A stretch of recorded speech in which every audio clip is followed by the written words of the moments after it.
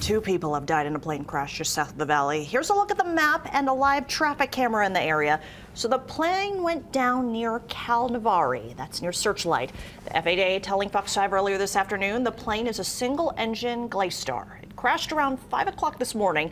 Two people on board were killed. Both the FAA and NTSB are investigating tonight.